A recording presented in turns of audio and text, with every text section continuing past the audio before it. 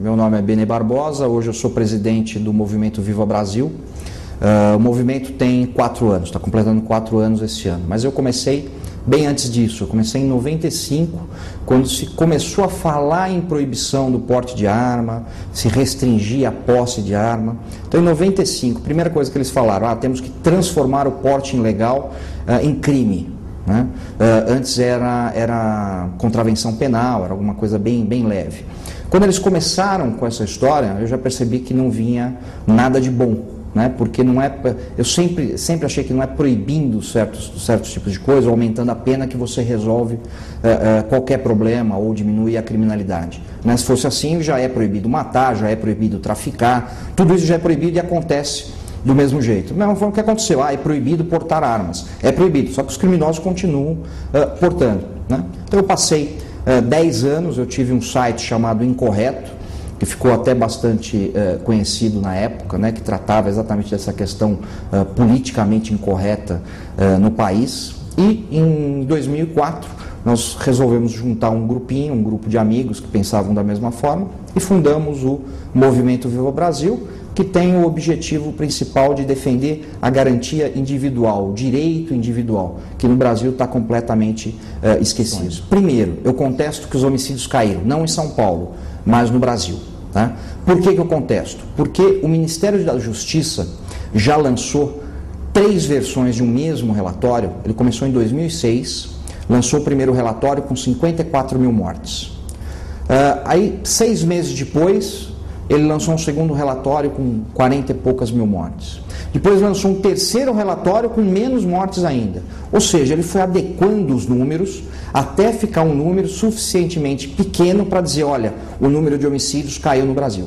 Né? Então eu já contesto uh, primeiro essa questão. Em São Paulo é completamente diferente. Primeiro que os homicídios vêm caindo desde 1999, muito antes de qualquer campanha do desarmamento, muito antes do Estatuto do Desarmamento, né? ou seja, não houve nenhum impacto. Uh, uh, isso é uma grande falácia, uma grande mentira uh, contada por aqueles que apostam tudo no desarmamento e no Estatuto do Desarmamento. E o que a gente não pode lembrar também é que nós estamos esse ano num ano eleitoral, o governo federal não fez absolutamente nada também em segurança pública. Né? não apresentou nada de concreto, não melhorou absolutamente nada. Ele precisava se apegar em alguma coisa para fazer propaganda política. E ele se apegou na única coisa que ele fez, que foi o Estatuto do Desarmamento e a campanha do desarmamento. O ministro Tomás Bastos ela sempre foi chamado de ministro do desarmamento. Por quê? Porque foi a única coisa que saiu dele. Né? Então eles se apegaram a essa questão para fazer propaganda política. Né? Não há nenhum fundo de verdade eh, na, na, em relação em queda de homicídios em alguns estados onde aconteceu e eh, a, a, diminuição do, do, acesso às armas ou a proibição do porte de armas. A campanha do desarmamento ela começou em 1954 criada pela ONU, né, chamado microdesarmamento, que era a seguinte questão.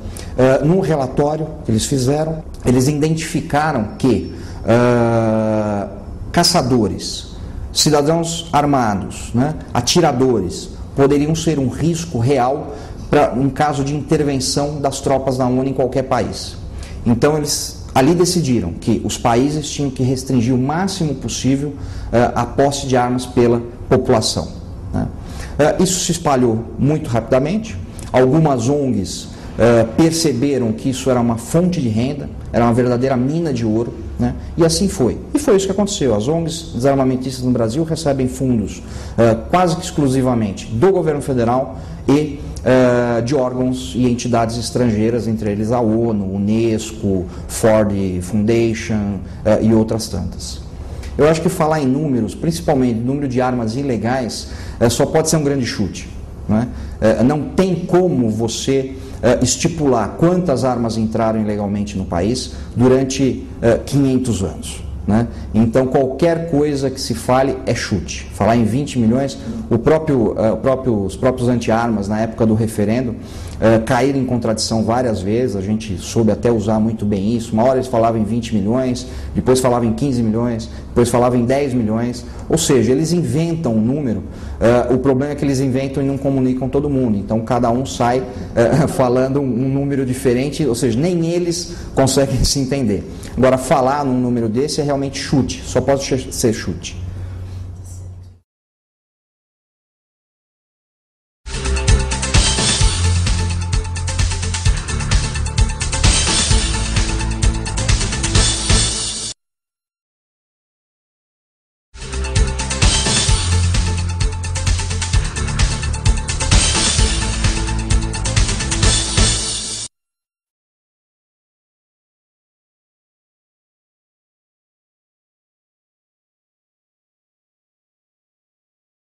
Nós acreditávamos que depois do, do referendo as coisas iam ficar mais fáceis né, para a gente, né? a gente ia ficar com menos trabalho para fazer. E, e, foi exatamente o contrário. Né? A gente está com muito mais problemas agora. Uh, por quê? Porque o referendo não está sendo respeitado, principalmente pelo governo federal. Né? Ele simplesmente esqueceu que houve um referendo, uh, uh, negou a vontade popular e continua tentando proibir. Então, ele continua com o Estatuto do Desarmamento, ele continua querendo colocar projetos de lei uh, com mais restrições, com mais burocracia. E acho que o grande exemplo disso hoje é o recadastramento das armas. Né, que são pessoas que têm hoje uma arma legalizada, que compraram essa arma uh, devidamente numa loja especializada, que tem essa arma em seu poder, uh, com toda a documentação ok, e ela é obrigada a recadastrar essa arma, com um custo muito elevado, apresentando uma infinidade de certidões. Né?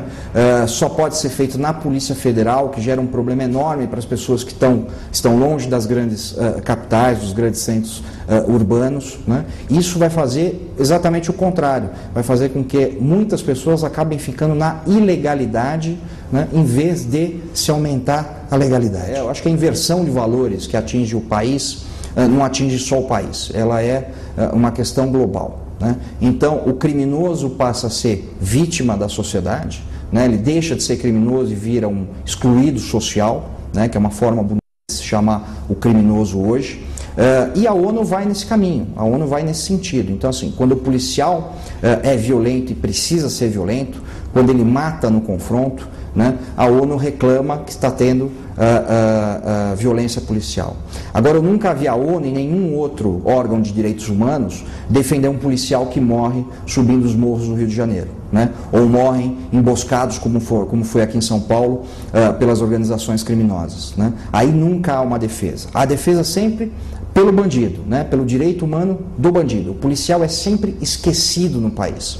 Uh, isso é uma questão muito fácil de entender. Né? O policial uh, ele foi visto da década de 60 para cá, durante, durante o governo militar, como a face da repressão, a face da ditadura. Então, os políticos que hoje comandam o país, na realidade, eles têm raiva da polícia. Eles não dão apoio, não dão incentivo, e quando morre um policial, eles dão de ombros, dizem: ah, ele está aí para isso mesmo. Ao contrário, ele vê o, o, o, o criminoso quase como um igual, né? quase como um par, que fez, na realidade, praticamente o que ele fez. Né? Assaltou banco, sequestro, né? e aí depende, só, só muda a, a, ideologia, mas o crime é o mesmo. E aí você tem o que a gente tem hoje, que é uma polícia desacreditada, é, que, e uma coisa, ela é violenta porque ela não tem outro jeito de ser. Né? Ela não tem, como eu disse, ela não tem respaldo uh, uh, do Estado, nem da própria, uh, da própria legislação brasileira. Por exemplo, por que, que aparecem grupos de extermínio da polícia?